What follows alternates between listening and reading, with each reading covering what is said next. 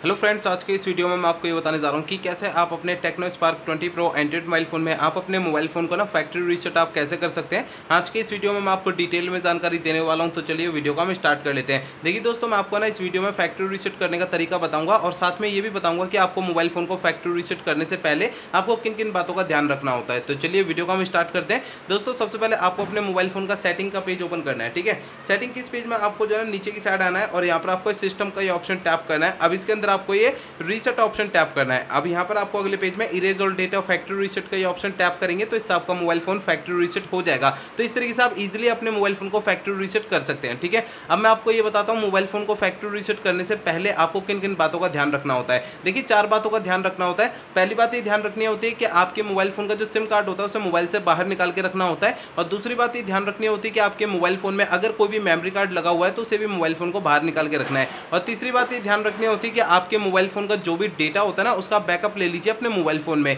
और देखिए, mobile phone के डेटा का बैकअप लेने का फ़ायदा क्या होता है, ये भी मैं आपको वीडियो में आगे बताऊँगा थोड़ी देर में, ठीक है?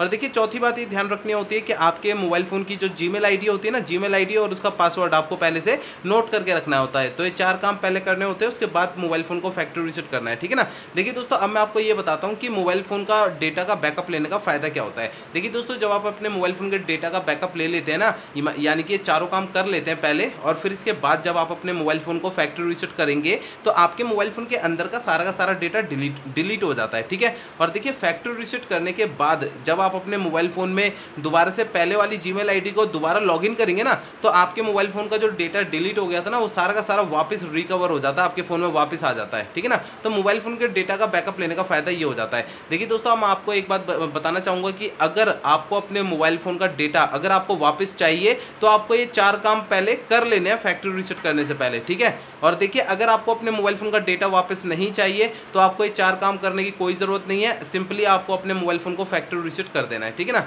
तो दोस्तों, ये मैंने आपको बता दिया, इस तरीके से आप अपने मोबाइल फ़ोन को फैक्ट्री रिसेट कर सकते हैं, ठीक है ना?